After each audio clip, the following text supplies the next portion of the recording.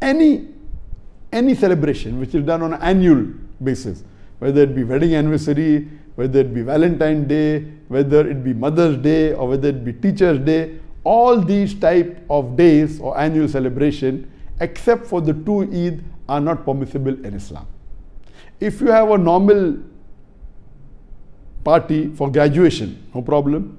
If you have a marriage and you have a party and a celebration for marriage, as long as nothing haram is done in that celebration, is permitted. So celebrating things which are good like marriage or graduation at one time, no problem. But making it an annual affair, you start saying, I will have wedding anniversary, so this is not permissible in Islam. This is the main basic ruling.